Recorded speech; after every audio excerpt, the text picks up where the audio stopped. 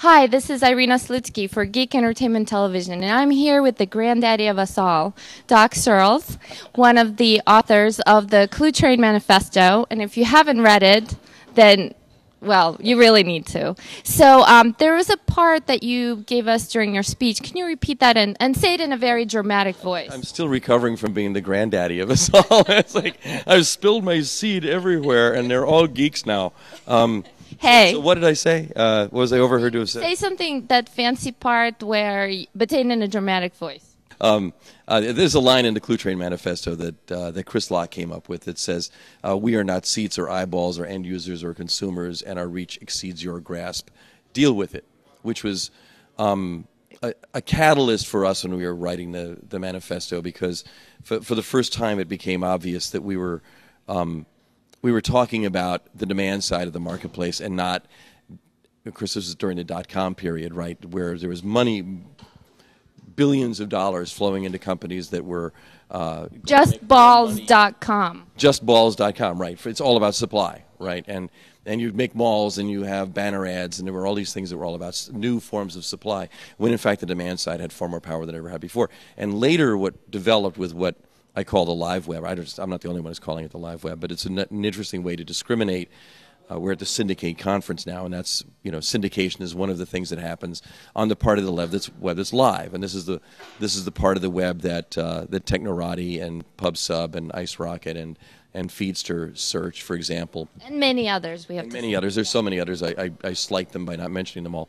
Um, uh, that that they search where you know you find what happens now. We're not consumers there. We're producers. Even in places like Flickr, right? I mean, we're we're not uh, the photo industry has changed totally by the users who are not just users anymore, they're producers. So know, how can how can consuming film? how can businesses make money off of all of us if we're such producers? Well, we make the money. I mean, we, are businesses. We can, you know, there's screw the businesses. It's us now. No, it's not. No, it's. I mean, I, I, am a big free market guy, right? I mean, find a way to make money. I mean, you're actually a former marketing guy. I'm a former marketing guy. Yeah. yeah. Nobody. I know. I've it's like I have a record, right? It's like, I'm sorry, I've done I've done marketing and uh, I'm I'm recovered now. My name is Doc and I'm a marketer.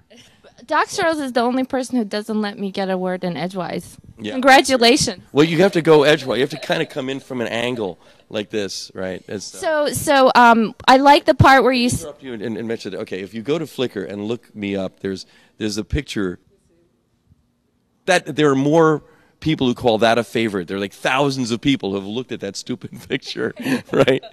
What did you mean exactly when you said, I am a not a corpuscle, I am a heart? okay. it's like the telephone game, right? Only you do it from the stage.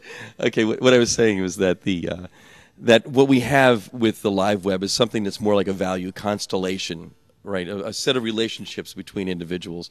And I mixed metaphors here. I said we're not we're not planets around us in a solar system revolving around a sun that is a company or you know i'm a leo too by the way leo too by the way yeah um, there are constellations of people to come together and and what makes them stars they're all stars and and what makes them all shine is the is the is part is freedom and liberty and all those good um, and independence and all of those good virtues and in addition to that, participation. Okay, you have to participate. But, but, wait, how am I not a corpuscle though? Okay, so so what I was saying is that what what we see with syndication, what we see with the live web, what we see with the flow of of topics that are being talked about uh, in the blogosphere um, is a, has a pulse, and it, it's a lot like blood. And the point that I wanted to make is that we're not corpuscles in that bloodstream; we're actually the hearts in in that system. So Aww. we're stars and we're hearts, and somebody needs to construct some kind of logo out of that and start a company and make billions of dollars, right? And I won't want any of it. It's okay.